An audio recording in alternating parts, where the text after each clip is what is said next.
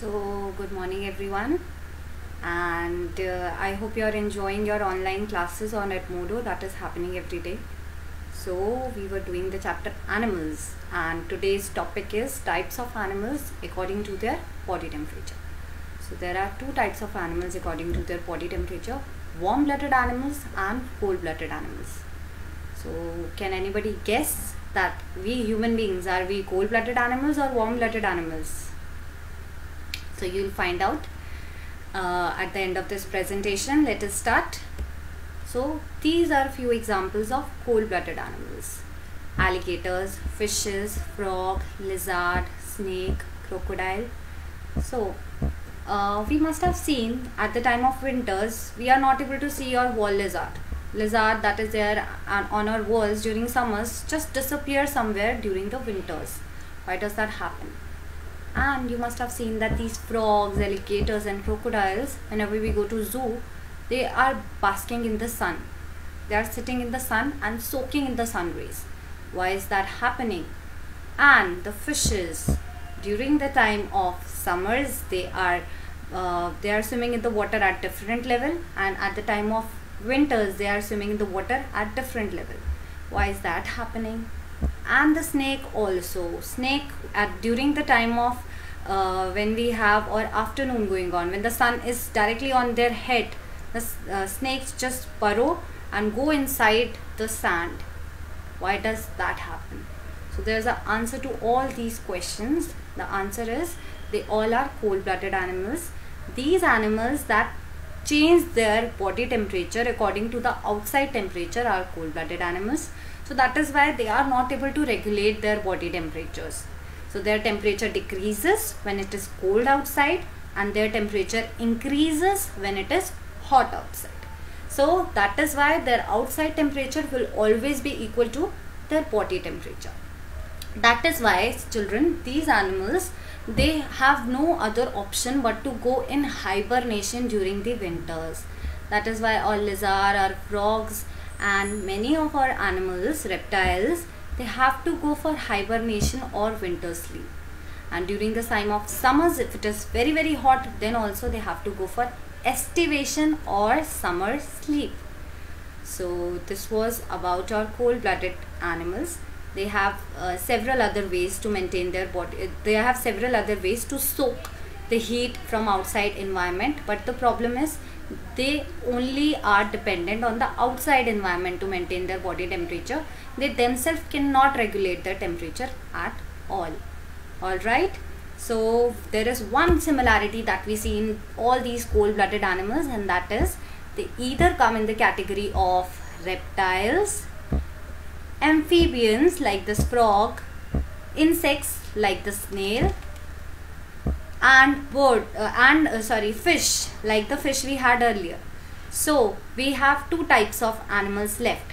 Those are mammals and birds. Mammals and birds come under the category of warm blooded animals.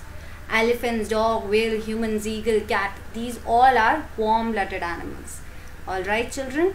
So now you know that we are warm blooded animals so animals that have a constant body temperature that does not vary with the outside environment are warm-blooded animals. They have the special power to regulate their body temperature and how are they doing that is they take in food and because of the food that they take in the metabolism they are able to produce body heat.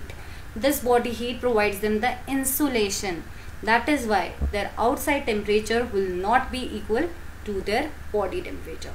So they have several ways of maintaining their body temperature. Firstly, the skin that they have is covered with hair or fur. As you see in this dog as you see in, in this cat even the uh, birds they have feathers on their body. So all these fur feathers or hair they provide them insulation. That is why their body temperature remains maintained. So they don't feel very very cold or very very hot you must have seen that dogs, they pant in summers. Their tongue come outside and they're just panting, breathing very heavily. So the reason the dogs pant in summers is because the dog is feeling very hot. And when he is just uh, putting his tongue out, he is getting the tongue heat the heat of his tongue evaporates into the environment and he feels better so what will happen when it is very hot outside and i switch on all the fans and acs and everything what will happen to you? You will start sweating. We all will start sweating and that is one mechanism by which warm blooded animals maintain their body temperature. Once the sweat comes out and because it is water droplets when they will evaporate this evaporation process will take away all your body heat away from your body and your body temperature will remain maintained to 37 degrees celsius and when it is very very cold outside let us say you go to kashmir and you are not wearing a sweater then what will happen? You will start shivering.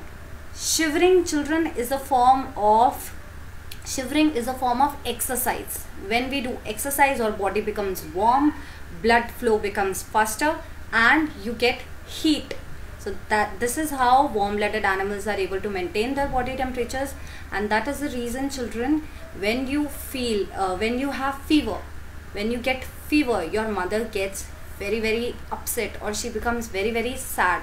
The reason is for warm blooded animals their body temperature must remain normal which is 37 degrees celsius for in the case of humans if the temperature goes above 37 degrees celsius which happens in the case of fever or viral infection then also this is a, it's a problem. And if it goes below 37 then also it means there's some disease or some variation in the body. So alright children there are few more examples of warm-blooded animal your rats mongoose rabbit dolphin bat cow baboon. So there is one similarity between all these animals that we can see. All mammals and all birds will come under the category of warm-blooded animals. So thank you children. I hope you enjoyed the video. Keep studying, keep learning and there's an assignment which is going to follow after this presentation. Do that assignment in your EVS note.